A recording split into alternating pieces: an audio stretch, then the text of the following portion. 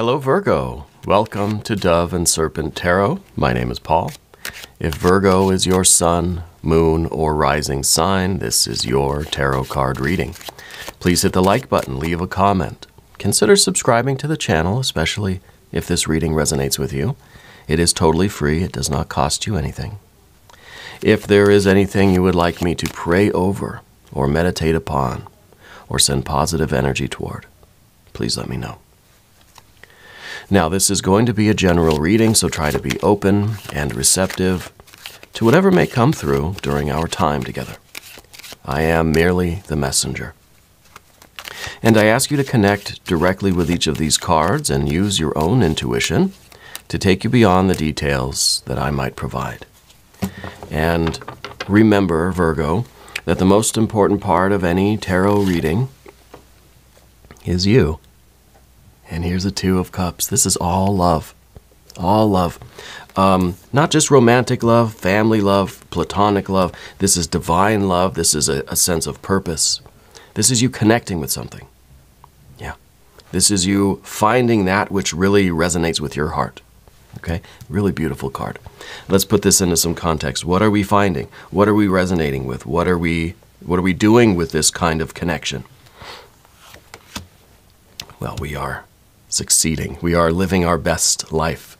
Um, this is a union that will result in the the best life scenario, uh, the fulfillment of your absolute ideal life. Right, Ten of Pentacles. Got an Ace of Wands here. It does spark something in you. It is this. Uh, it is kind of lighting up your consciousness, lighting up your your creative energies. We've got the Universe card behind us.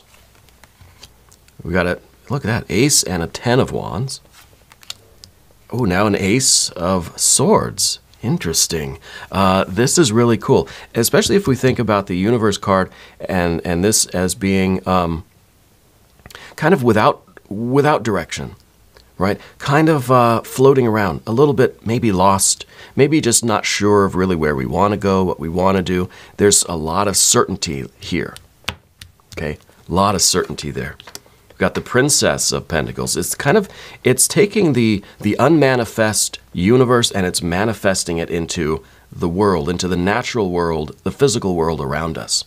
Okay. So in one sense, this is your unlimited possibilities. And when we have unlimited possibilities, it's kind of daunting. We've got too many possibilities. It's unlimited and it's kind of like it's nothing is materializing yet. I think we're getting a sense of direction. We have the ace, we have the ace right? We have the 10, we have the 10. We're getting a sense of direction. We're finding this unity within ourselves. We're, we're picking a direction. We're finding that inspiration. We're finding that which just sets our heart on fire, right? And we're accomplishing something, and we're now we're manifesting that best life. This this is really really special. We've got the moon card. It is it does take a little bit of courage to walk through this future into this unknown. We've got the Libra energy with the Justice card and the Empress to end. Wow, this this got to be the best reading ever. It's got to be. Um, we see the darkness here of the path, okay, and that's that's really true, especially when we've got Ace, Ace. We've got a two, right? It's really these these cards are kind of at the beginning of something. The, this is the end that we're looking for. These these are the ideals that we want. Fire to earth, the absolute uh, highest potential that we're capable of. This is you setting your, your bar really, really high. We're aspiring, well, to the whole universe, you know. Um, this is the absolute highest potential, and we're manifesting it. This is our ideal fire to earth, fire to earth. That's the process of creation. And it's a 10, it's maximum. You know, we're achieving everything of which we are capable. This is our goal, this is our ideal. Okay? And this is us with the certainty, with the love, with the devotion to do it. We're feeling inspired. We are we have fallen in love with this and we, we know what direction we're taking. The the path is still a little bit dark, right? The moon card says you don't know what the next step is exactly. You know you're going to take it, but it might be a little bit scary, right? And that's the moon. Uh, it's a new moon energy. It is saying that every moment is, is, is uncertain. The next step is always darkness. We can never be sure about anything in life, right? We have no idea what's coming next. I don't know what the next moment is going to bring. I can be 99.9% sure that the sun will rise sometime in the next 24 hours, uh, but I can't be 100% sure. There's no way to have that kind of certainty about anything. So, really, every moment is a step into the unknown. And I think you're willing to do this because you have your aspirations, you know what's on the line here. And it's like you're, you're settling for nothing but the absolute very best, that Empress energy at the end. Right? And uh, so we're willing to take the risk and step into the darkness. You know, and I think that what we've got with the Libra energy here, the, the balance, the scales, justice, the adjustment card, is realizing what we're willing to risk. Right? If something is 99.9% sure, I'd bet the farm on it. What if it's only 90% sure? What about 80? Still good? What about 76, 50%? Then what do we do? Right? And that's kind of what the uh, justice card is all about, trying to figure out where we draw the line. What kind of odds are we willing to still bet on? Okay? And I feel like in your you're you're really betting the farm on this. I feel like this is worth all of the risk. If there's only a 1% chance that this is going to happen, you're still all in. That's how much you want this, that's how much you believe, that's how strongly you feel about it. But there's a lot of practical energy too. You know, um, just because we want something this bad doesn't mean that it's a guarantee. Again, there's no certainty. But even if there's just a, a sliver of a chance that you can manifest that Empress life. And the Empress life, this is really the best life. This is you living that best life because the Empress is an energy that if, if you take care of this, if you nurture this, if you put your love and your heart and your devotion into it, you're going to get that right back. Right? This is you living in a world where, where um, it's, it's paradise, right? It's the land of milk and honey. This is a very special reading. And it, maybe this is the best reading for Virgo that we've ever done. In the past position, oh, wait, you know what? Mystery card. Let's not forget that. We've got to select the mystery card, and this is one random card from the Smith Waite Tarot. And we'll set it over here. We're going to put our very own Kelly Kapoor right there on top. We're not going to look at that card until the very end, but it will tie everything together and it will give us the confirmation that we need. All right. If at any point during the reading you have a hunch about that card, you feel like you know what it is, put your prediction down in the comments, okay? Uh, we can do it together. We can make it a group exercise. Let's take a look at the major arcana energies that we have. We have the universe, moon, adjustment, empress. Yeah, we're starting here. We're starting in this vast, wide open, limitless. There's no restrictions. There's no, there's nothing. This is emptiness, right? What do you want to put in here?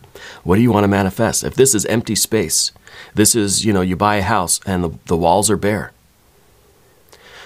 What are you putting on the walls? What kind of furniture? What, what, what are you going to paint the color? You know, what, what's your rug going to look like? You know, um, how are we going to furnish this empty space? Well, this is the furnishing. This is now, this is the space now full, full of life. Everything is grown everything is filled in, the flowers are blossoming, and the, the trees are bearing fruit uh, or nuts, whatever you prefer. But right now, there's kind of this idea of unlimited potential, blank canvas kind of thing. So maybe you are starting a new era of your life. Maybe you're buying a house. But I feel like there's this wide open land in front of you, wide open space. And it's up to you how you're going to decorate it right? The furnishings of the space. And I feel like you know exactly what you want. You already have this ideal picture in your head of it, of what your paradise would look like. It's going to look like this. It's going to be your creative will manifesting exactly 10 to 10, 1 to 1, an exact match. Your will and what manifests, what you desire, what you feel inspired to. And this is your creativity. Nothing is getting lost in translation. It's 10 to 10, 1 to 1. Okay? And um, the 10, of course, of Pentacles is your best life. This is the image of your best life. This is that, you know, the, the picture that you painted to be like a scale model. It's like you created a little, you created a, a vision board or something, you know, or a scale model of your life with down to the just the most precious detail. Yeah. And it's all an expression of your spirit, of your creative will, of your essence. And this is your ideal. You've got that scale model built, right? And now it's just a matter of planning the next steps, going forward with this certainty. There's clarity here. And we need this going into the darkness because that is this is kind of like the torch that lights our way. Well, so's this really. But the aces are the torches that light our way through this darkness of this moon energy. We don't know exactly what the future is going to hold, but we know what we're trying to do. We're bringing our light, our creativity, and we're bringing our discernment. We're bringing a very clear head. Right? We don't have all the answers, and that's okay. We'll light the way as we go. Right? As we go into this future, we're bringing our light with us, and therefore every step is going to be illuminated as we arrive in that moment. Okay? And it really is because you have this connection, you have this love, you're in love with something, and this you feel so strongly about this. And everything, love is the glue that's holding all this plan, this whole life path together. Okay? Really is something special we got here. So the Ace of Swords is certainty, but it doesn't mean knowing all the answers. This is confidence and clarity and certainty, even when we don't have all the answers. We don't need all the answers. We're not asking question after question after question. We are taking our powers, our skills, our talents, taking ourselves into that dark next step, and we're figuring it out. So I feel like you're very adaptable. You know, I feel like you're a problem solver. I feel like you, you jump into something and you figure it out. You're not someone that has to really plan everything ahead of time. You know, maybe you were like that at one point. I feel like that's kind of a Virgo quality. But in this case, you're not, you don't need that. You know, this is the only air energy that we have. We've got our major arcana. We've got our fire. We've got our water. We've got our air. We've got our earth energies. Okay. But we don't have um, and, and the air and the water that we have, our, our feeling and our thinking, our heart and our mind, are so perfect for what you're manifesting. Otherwise, what do we have? We've got fire, earth, fire, and earth. We've got this power of manifestation, this direct line of taking your will and implementing it, taking your, your uh, inspiration, your impulse, and it manifests as behavior, as reality in, in your world, as a physical thing. That is the act of creation fire to earth, fire to earth. Your heart and your mind, those human qualities that usually interfere with our impulses, with our, our um, process of creation, you know, fire to earth, it's usually the heart and mind that get in the way, not yours. Your mind is acting as the perfect uh, conductor. It's like that silver or gold or whatever the perfect kind of conductor of electricity is. That's your mind right now. It's able to perfectly translate your will into action, your, your inspiration into realization. And your heart, your heart is pure. It's a direct one to one connection. Your heart knows exactly what it wants. There's no mixture of feelings here. It's pure. This, that's why this is the best reading ever. This is the best configuration of energy ever. But you're not being blinded by your heart or your mind. You have this spiritual discernment, and that's your ability to judge and balance and weigh things and um, you know make decisions and really have this kind of balance to you. We're not just frantic and manic and all over the place. There's a, a control. There's a kind of a professionalism about you right now. You know?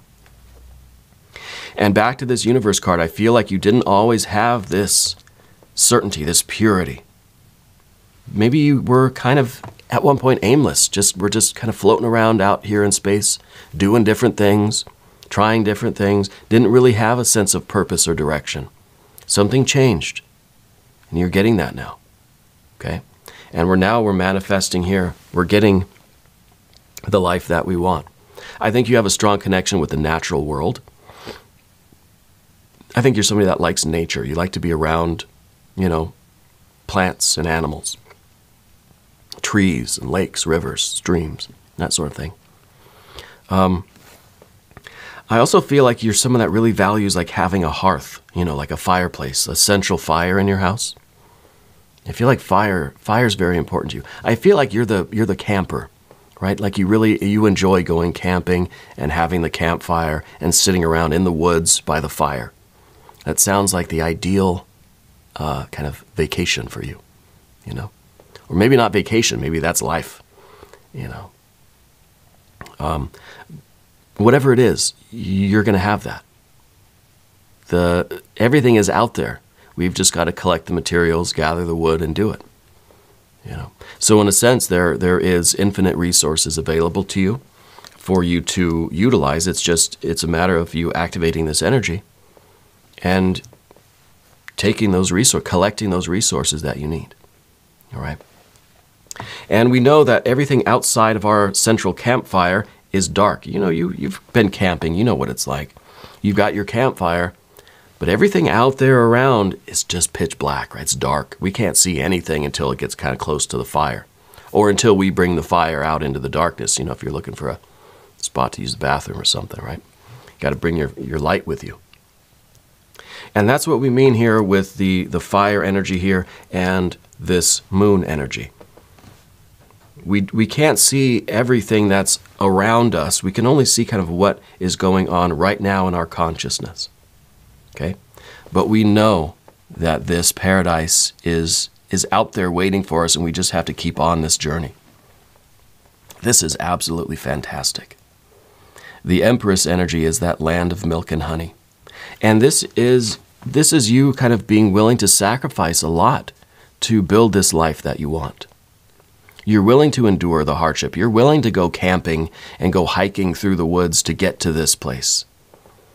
You know, a lot of rainy days, a lot of sprained ankles, a lot of scratches, bumps, and bruises, a lot of hard days, long days, because you know where you're going and you know what this life is going to be like. It's worth the effort that you're, that you're putting forth it's worth kind of the, um, I don't want to say suffering.